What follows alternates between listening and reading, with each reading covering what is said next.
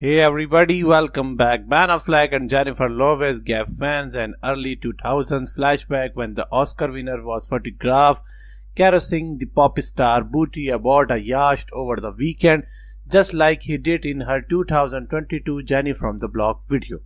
New snaps show Affleck placing his hand on Lopez's bikini bottom clad rear while another photographer on board captures the action, presumably for Lopez's own Instagram page, which previously featured pics of Lopez in the same $650 Valentino swimsuit. In other yacht shoots, the recently flames are seen kissing and cuddling. The internet had a file day with a Jenny from the Block flashback with one Twitter user posting, me fully expecting Jenny from the Block 2 to drop any day now.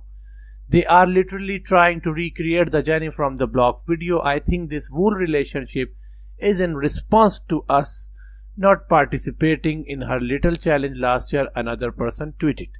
Gag, just stop already, it's gross, a Twitter user wrote. Let me find out these wool thing is a setup for her Jenny from the block challenge, another added.